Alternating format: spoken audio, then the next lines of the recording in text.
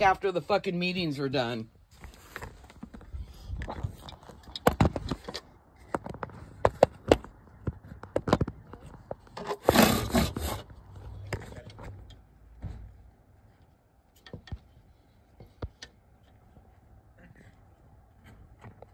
Hello.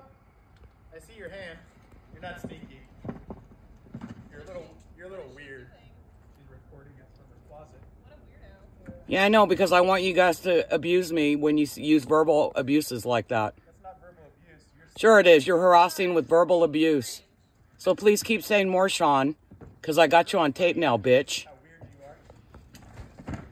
you are. You got more slamming or something you need to do? You set yourself up, bitch, because you're the one who opened your mouth first.